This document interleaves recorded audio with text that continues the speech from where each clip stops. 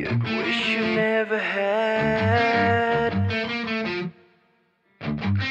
Cause talking makes you crazy,